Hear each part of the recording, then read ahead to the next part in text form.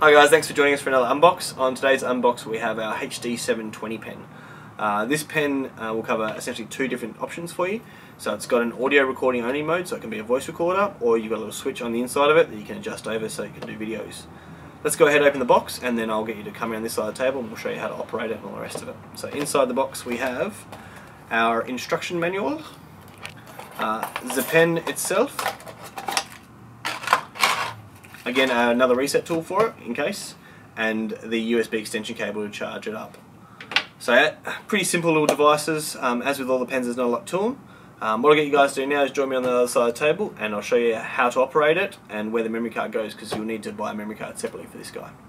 So, as you can see here on the inside of the pen, I've just unscrewed the actual pen part of it off um, to expose the USB port and the switch. So the number one switch um, is for your video, uh, audio, and uh, two, if I flick it over to two, that will do video. So uh, we're just going to do the, a little bit of a video test uh, for now, and I'll show you how to operate the unit. You then want to go ahead and get your micro SD card, which you've purchased separately. Um, the 720 pen can accept up to 32 gigs. Um, battery life wise, you're probably going to get an hour on it, so you're always going to have less battery life than you are storage capacity. But do make sure you have your other 16 gig or 32 gig card um, with your pen, otherwise you won't be able to record anything on it. It doesn't have any inbuilt memory on the 720 pen. Uh, if we flip over the pen, this is where we insert our micro SD card, and we insert it with the cutout uh, all facing down into a little slot into the back of the pen, and we just push it down until it won't go any further. To there to activate the pen for recording purposes. Um, it does the same uh, symbol either option if you've got on one or two. So there's a little window here just above my fingernail. And we're just going to hold down the button for a couple of seconds. And then we're good to go. So it's going to flash for a couple of times. And then now it's recording. So Everything is recording now. The actual lens itself, again, is just above the little clip there. There's no cover on this uh, pen, unlike the Full HD and the 2K pens, which had a small cover on them. There's no cover on the 720 pen, so do be aware of that. If you want to turn the unit off once you finish recording, again, flip it over, locate the little window on the back, hold the button down. There we go. So now go back into a standby mode.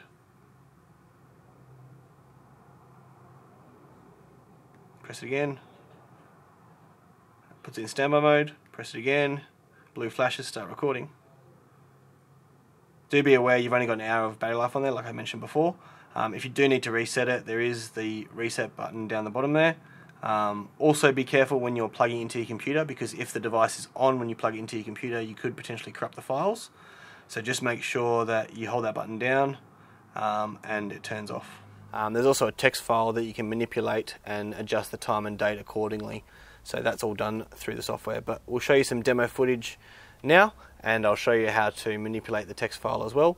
Uh, what you want to do is click on new, then you want to go down to text document, you want to title it time with a small t. Then all we're going to do is so we can have time and date stamp footage is we're going to enter the, the date and the time. So we want to go year first and then we want to go month make sure you put a decimal point in there, then the day, space, the current time.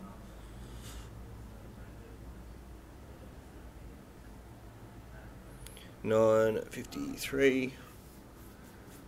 Make up some seconds, space, and then a Y for yes, and then we want to go file save and file exit. Then from this point on, all the all the files that we create will be time and date stamped. Thanks for joining us, guys. As always, don't hesitate to uh, shoot us an email, uh, support at thespystore.com.au, or give us a call if you have any questions or queries regarding any of our products.